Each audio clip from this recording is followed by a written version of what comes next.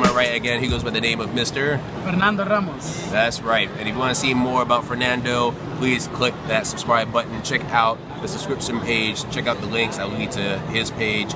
And also hit that like button and leave a comment to tell us, to tell us what you think. And my English is off right now. But anyways, going back to what we're talking about. Uh, so Fernando, since you're a very honest person, I want you to explain um, how is the Latin culture perceived here in Taiwan? Uh, is the Spanish language uh, just as popular as English? Uh, do you see a lot of Taiwanese people that have an interest in learning the Spanish language? Um, of course, you know the Spanish style of dancing. Uh, do you see like the nightlife? Do you see like any Latin influence? Uh, is it getting better? Is it getting worse? What's your opinion? Well, I think that you know when you talk about the Latin culture, like I think that most Taiwanese have a very like you know like a similar opinion. That is that we're very you know warm. We're like very passionate. We like to dance. We like to party. And that's kind of like the general consensus whenever you know you talk to Taiwanese people. That's what they think about us. Uh, I do think that uh, it's changing a little bit. I think that there's a lot of like Latin people that are doing great stuff. That is actually you know trying to like change perspectives. Uh, I personally know like a couple of them. Like uh, I have some friends from Honduras. Uh, one of them has a company that sells coffee from mm-hmm. Honduras, uh, Circle Coffee. His name is Elias. Uh, I also have another friend from Ecuador that I'm kind of working with him part time. Um, he has a company that is called Expand Latin, mm-hmm. which brings like uh, products from Taiwan and China to Latin America, and he also have, helps Latin American companies that wants to expand into Asia. And um, I can think of other examples. One of my good friends, uh, she has like a cooking restaurant, and she has been invited to like uh, many many places, you know, to kind of show like the Latin cooking style. Mm-hmm. Um, her restaurant is called Nini's Corner, and uh, you know her food is great. And I think that all of those things um, kind of like put us out there, you know. Right. Uh, like uh, personally, I get involved in a lot of activities uh, regarding like you know the Honduran Association, which I'm the president of and we usually go and like we show our dances, we show our food, like uh, like uh, we usually have events like um, there's one uh, on the 24th of February that it's gonna it's called Carnival Taipei and uh, it's gonna be filled with like different communities, like mostly Latin communities, people from Mexico, people from Guatemala, Ooh. and we're gonna be hosting like dances. We're gonna be like uh, we're trying to put together like a, a soccer event, you know, like uh, girls uh, teams. And just to clarify, it's Guatemala, not guacamole. All right, guys, so make that mistake. Yeah, so I think that you know, like they're getting to know us more. Mm-hmm. And, I think they like it. Like, uh, you know, like uh, one thing that is very funny is because, like, uh, in this event that I'm talking about, like, we always uh, sell our traditional food, and one of our most famous foods is called baleada, which is made with red beans, but they're salty. And as many of you might know, in Taiwan they don't eat salty beans; they eat them sweet. So whenever you tell them that it's salty, like they they just immediately like they don't want to try it. Maybe like they just see it and they, and they get surprised. But once they eat it, like you know, like it's, it's, very it's very tasty for them, and they come back. And there was one guy that came like three times just to buy more and more and more. And it's kind of like you know, like it, it breaks like this uh, kind of like cultural barrier uh-huh. between us and them because they actually like our food.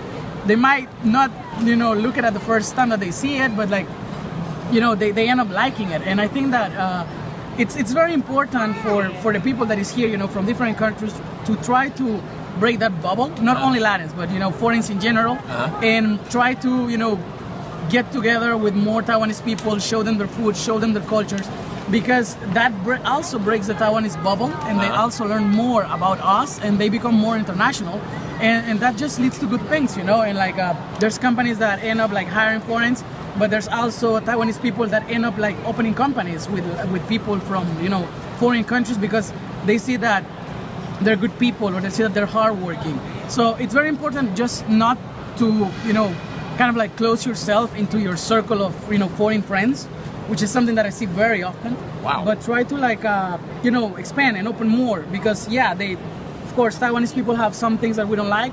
We have things that they don't like. But you know, we're all humans, and it's all about learning from each other and growing. So I, I would recommend people to do that.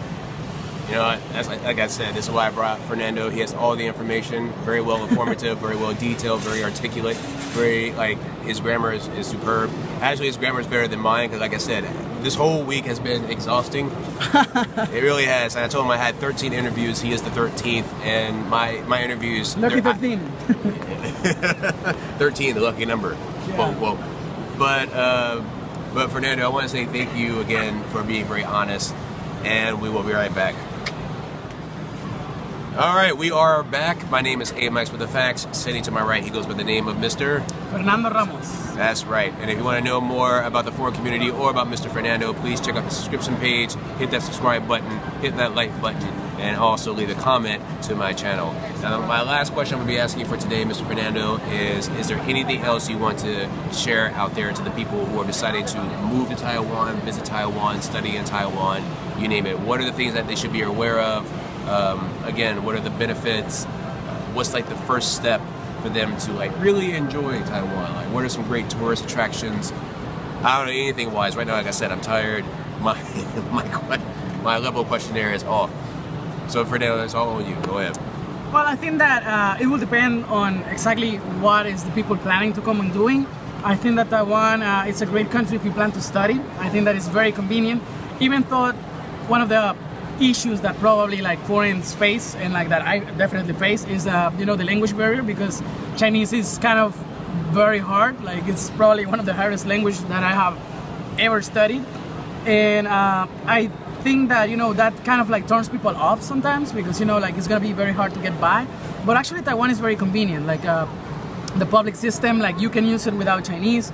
They actually put a lot of like instructions in English to make it more like accessible for foreigners. So um, that's something to be taken into consideration. Like uh, it's actually very friendly. I think that people here the it's it's one of the most you know friendly people that I have ever met people is very helpful they always trying to help even if they don't understand what you're saying they will still try to help out mm-hmm. and uh, I think that that's uh, you know it, it's kind of like a great place to live I think like I said before it's very safe uh, you're not gonna have problems with healthcare. Uh, you're not gonna have problems with transportation. Uh, if anything, like uh, one thing that I would suggest people is to make the best of the times. Uh, I know that there's a lot of people that come here and you know to study or to like learn Chinese, and they don't use their time wisely. Like uh, you know they. I'm not gonna say that partying is bad, but like that's not all that you're supposed to do while you're here. Taiwan has a lot of opportunities, and I think that if people take you know some time they work hard and they explore those opportunities do internships you know uh, meet other people go outside the bubble like uh, like I was telling you before like uh, some some great things can happen for them so I will say that you know use your time wisely try to learn as much Chinese as you can if you're working take a look at regulations uh, take a look at companies like uh, before you actually move in if you're actually coming just for that one job you might want to be careful with that to avoid you know any you know unpleasant situations in the future. And uh, another thing that I will recommend people is that if they come into Taiwan, they need to keep an open mind. You know, I, I heard a lot of people that complains uh, about Taiwanese culture or some behaviors or you know this and that. But the thing is that when you come here, you, you're supposed to adapt, right? You're supposed to adapt to adapt to them instead of just criticizing, attacking, just like, you know, oh, I don't like that they do this, oh, why they do that. You know, it's different cultures. Probably if a Taiwanese goes to your country, he's gonna have the same questions that, that you know, you probably have when you come here. So I think that, you know, leave the judgments aside, try to get to know them, try to understand them, stop criticizing, you know, the culture because Taiwan is a very friendly country. I think that, you know, it's, it's, it's an amazing place to live. And you know it's just about giving it an opportunity and giving yourself an opportunity to discover this you know amazing island. All right. Now uh, you know even though he mentioned about don't waste your time if you're an english teacher who has to work nine to five or you're a youtube vlogger like me it doesn't count yeah, yeah, I'm talking about professional work. Yeah. You're safe. All right, and also, guys, uh, we need a split because I see that there's too many people walking around looking at us, and sometimes they can be good, and sometimes that, that can't be good. But at least we're at least we've been famous for about 15 minutes. Yeah, probably. How does it feel to be famous for 15? How, how does it feel to have not bad, 15 not minutes bad, of fame? Not bad, not bad at all. Yeah. all right, so once again, guys, if you want to know more about Mr. Fernando, check out his links at the bottom. Uh, what are your links? Well, uh, I'm gonna provide you with my LinkedIn. It's uh, Fernando.Ramos, like you know, as my name. Uh, you can also check the website All Hands Taiwan. Uh, that's another you know initiative that we're supporting, and like uh, like I said, that's a project to help people that is looking for jobs or that are looking to move from English teaching into other sources. And you know, we're trying to help as much people as we can, and you can find a lot of resources there. So I would really encourage you to check that out. And um, I think that that will be for me. All right. No. And guys, he's a special dude. Very intelligent. Like, like he already knows I'm tired right now. I'm sleeping. Snoop Dogg effect. All right, here Okay. we go. Mr. Fernando. Thanks thank for the opportunity, again. man. Very nice to meeting you. And once again, guys, my name is Amax with the Facts. You have now seen the AWF series, and of course, we make the unknown. Known. That's right. Despacito. Think about the San San Benito. Think about the San Benito. Think about the San Benito. Nah, I'm not doing that. Peace.